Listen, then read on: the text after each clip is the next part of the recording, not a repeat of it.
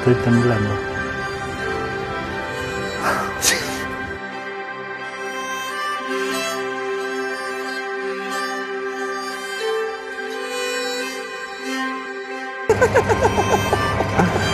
Es impresionante. ¡Ay, Dios! ¡Qué barbaridad! Estaba un domingo en mi casa con mi señora y apareció una, una noticia de, de Infobae este, donde, donde contaba la historia de una persona que, que estaba nadando en situaciones que realmente no son buenas. Y bueno, este, hablé con ella, le dije, contactate con esta gente, vamos a regalarle la pileta.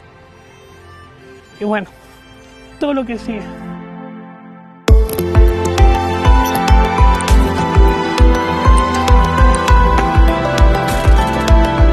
Llamado por teléfono, hola, sí, soy Justina, la novia de Sebastián, mi, mi novio hace piletas y te queremos regalar una pileta. Fue así.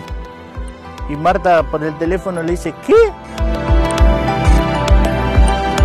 Y lo que le dijimos fue lo que, lo que hacemos nosotros, que somos fabricantes de piletas y que bueno, Sebastián merecía tener su pileta.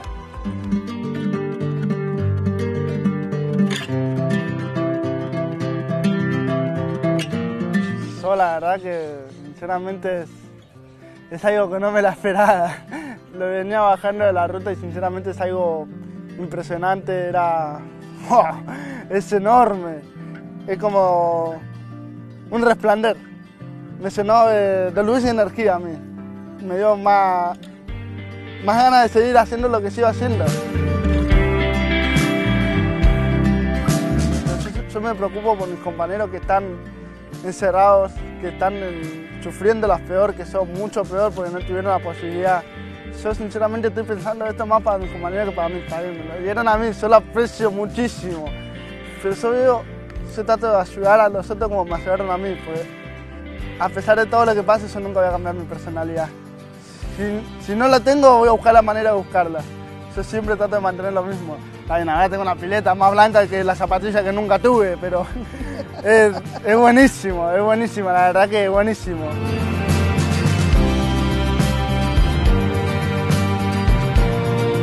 Salió del alma y no hay nada mejor que, que sentirse bien con uno mismo. Siendo buena persona con los demás porque la mayoría de la gente lo ha- no lo ha hecho conmigo y me he sentido mal.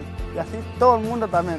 Pero yo dije, no, yo voy a cortar eso y voy a, voy a hacer todo lo que ellos no hicieron por mí. Yo con tan solamente verte contento haciendo algo, ese es mi pago.